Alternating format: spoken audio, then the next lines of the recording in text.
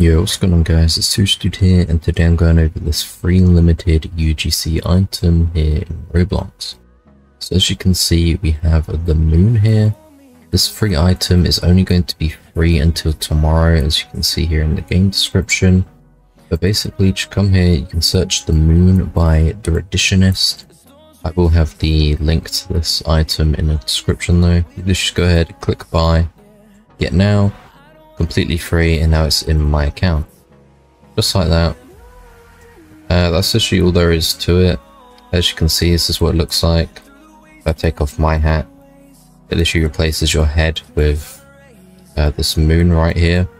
I think it's quite cool if you like space and stuff. It's definitely a good one. And uh, yeah, make sure to go ahead and claim this UGC. It's definitely worth getting since it's free anyway and it will become paid soon. So definitely worth it and uh, subscribe for more.